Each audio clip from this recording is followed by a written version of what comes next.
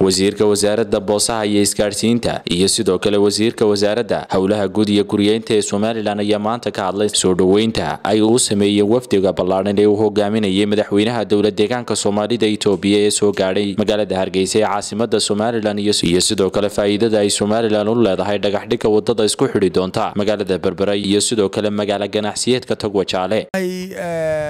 Ilaa shalay galab ilaa hadda wafdiga dowlad deegaanka soomaalida ee uu hogaaminaya madaxweynaha madaxweynuhu aragtidayda si fiican baanu u soo dhoweynay. Iyagana waa ka muuqataa. Ilaahayna waa ugu mahadnaqaynaa. Somalilan faa'iido faa'iido aad u weyn baa ugu jirta arrinkan. Halkan waxaa inaga xigaa galbeedka dal dadkiisu boqol milyan uu kor u dhaafay. Berberana dekedanta berberaa ugu dhow marka jabuuti laga tago marka faa'iido weyn baa somalilan ugu jirta baac mushirkeeda iyo iyo iyo ganacsatadeedaba wallaahi horta booqashadan waxay tusaysaa sida heerka gaadhsiin iyo xidhiir ka dhexeeya etoobiya guud ahaan iyo dowlad deegaanka soomaalida.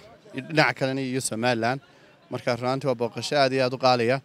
Waxaanan malaynaya inay noqon doonto mid bedeli doonto heerkii u taagnaa marka hore muhiimadda waddaduna waxa weeye waddanwanoo doonaya in dhaqaalihiisa kor loo qaado. Waa in jidad kala dhiso. Weliba jidadda laydhaa hayweeyada wax kaloo faa'iido leedahay. De inagu waxa weyn leenahay waa deked marka dhoofka iyo soo dejintaba aad bay kor ugu qaadaysaa tan dhowrkeed leeyahayna waddadu waa tii. Waa la weyneynaya iminka siduu wasiirku sheegayna sideed mitir bay noqon doontaa.